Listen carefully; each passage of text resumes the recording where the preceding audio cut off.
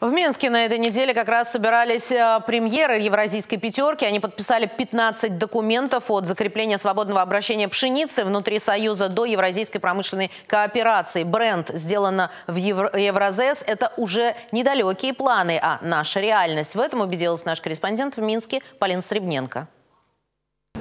Хамон, палермо и солями. Название заморские, как и рецептура, а вот производство свое – белорусское. Эта технология на Гродненском мясокомбинате – ответ на западные санкции. Европейские деликатесы в республике под эмбарго. Несмотря на все проблемы, связанные с логистикой, связанные с банковской сферой и так далее, в 2022 году значительно увеличили производство. Своими силами вряд ли бы справились. Сырье, свинину, говядину и птицу привозят соседи. Такой вот союзный продукт. Российские производители нам в этом помогают. С Российской Федерацией мы работаем в российских рублях. То, что вместе прибыльно, Москва и Минск давно доказали. Самый известный белорус – трактор из российской стали. 350 лошадиных сил. Это широкозахватные агрегаты, когда применяются комбинированные агрегаты, где за один проход идет обработка почвы, внесение семян, внесение удобрений. Если считать в долларах, Россия выделит Беларуси полтора миллиарда на проекты импортозамещения. Основную часть получат машиностроители, среди которых МТЗ и БелАЗ.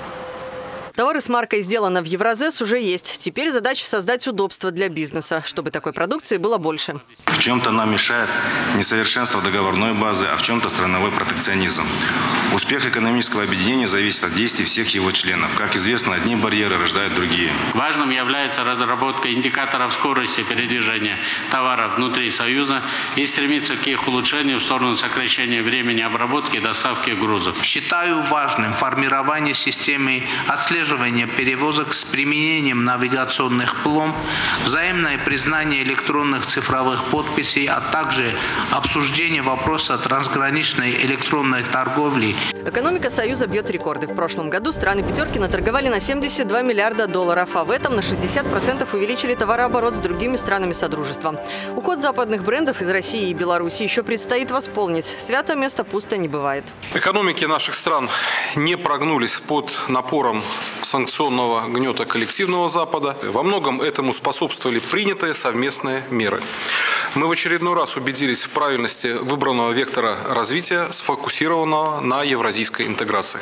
Интеграции особенно ждут в строительной сфере. А в России не хватает лифтов, в первую очередь скоростных. Раньше подъемники и запчасти к ним закупали в Европе. Под общим брендом будут делать в Могилеве и Москве. Это и для себя, и для третьих стран. Прибыль оценивают в 3 миллиарда долларов, но расчеты, естественно, в рублях. Предлагают присоединиться и партнерам из Евразийского союза, например, производителям электроники и запчастей.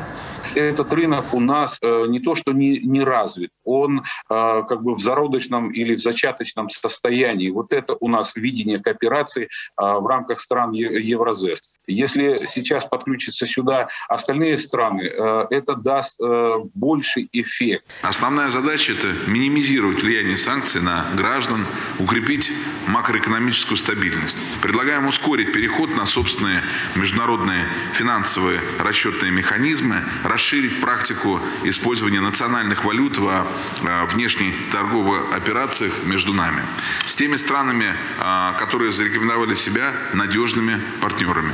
Из-за действий Запада изменится и логистика. Сейчас торговые цепочки нарушились, и страны пятерки создадут новый транспортный коридор. Европа, Западный Китай. Пройдет он через Беларусь. Полина Сребненко, Елизавета Проявенко, Александра Кулакова. Программа «Вместе».